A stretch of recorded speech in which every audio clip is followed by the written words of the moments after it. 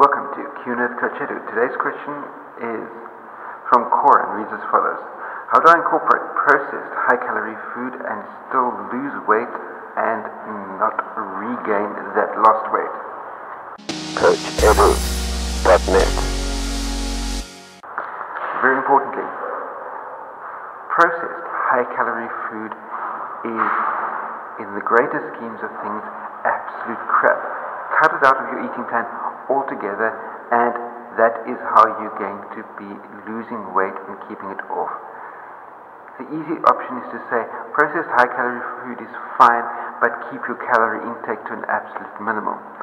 That is going to lead you into a starvation slash binge slash weight gain macro cycle over the long period.